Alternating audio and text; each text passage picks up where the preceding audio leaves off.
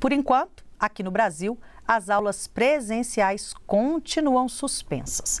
Veja no Giro pelo Mundo como essa situação está sendo vivida em outros países. A produção e reportagem é da jornalista Daniela Vargas. Ei, gente, o isolamento social impõe uma série de restrições para todo mundo.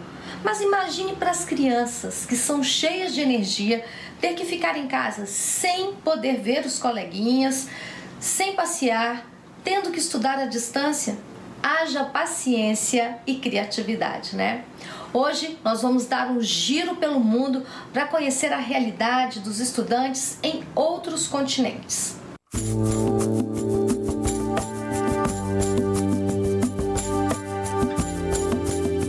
Aqui na Nova Zelândia, a gente pode dizer que nós tivemos uma estratégia de sucesso no combate ao coronavírus. Ah, agora só existe um caso ativo em todo o país.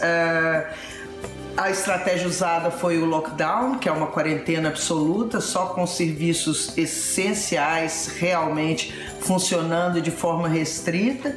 As escolas, claro, foram, foram uh, fechadas, as férias foram antecipadas para que os professores pudessem desenvolver uma estratégia de urgência para que o conteúdo escolar pudesse ser passado é, pela internet. Aqui é, a gente fala que nós vivemos em bolhas, né? Então cada família é uma bolha.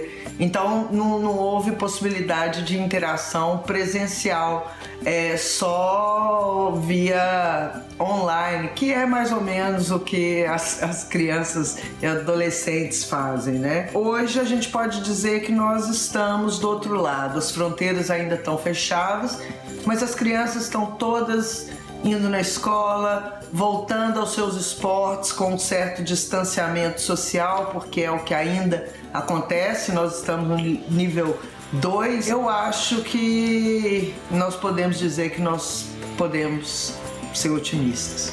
Desde o dia 1 de junho, aqui na África do Sul, nós passamos para o estágio 3 do lockdown.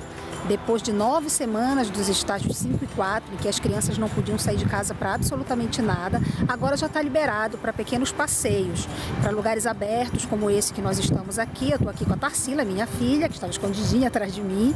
É, Tarsila, como foi esse período em que você passou trancada em casa? Foi muito chato, não tinha nada o que fazer. Só tinha alguns jogos, tipo, você pode jogar stop, você pode jogar várias coisas. E agora, tá legal agora que você pode sair? Muito, tô muito. É, aqui onde nós estamos, no Rodenbosch Common, que é um espaço aberto, um aparelho público perto da minha casa, na cidade do Cabo, é possível até ver outras crianças brincando.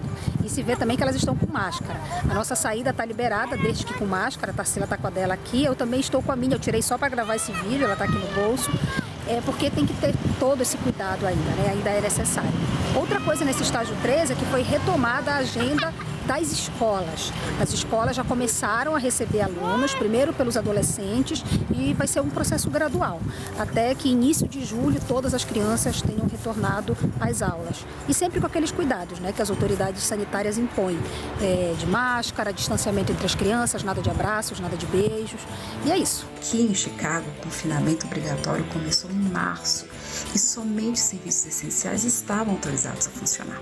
Pais e mães adotaram o home office como nova modalidade de trabalho, que para muitos foi um grande desafio. Porém, o que muitos deles não imaginavam era o quão complexo seria conciliar a vida profissional com a nova vida de professor a domicílio.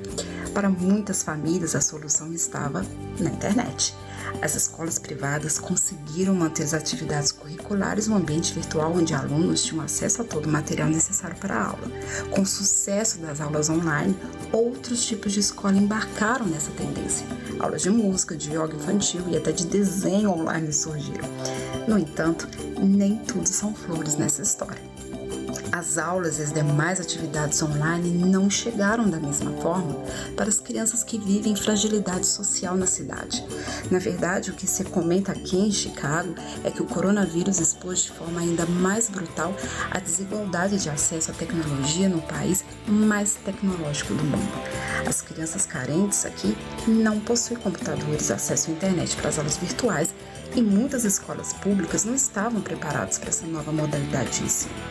Para os alunos dessas escolas já não é mais possível a conclusão do ano letivo, que diferentemente aí no Brasil se encerra agora em junho.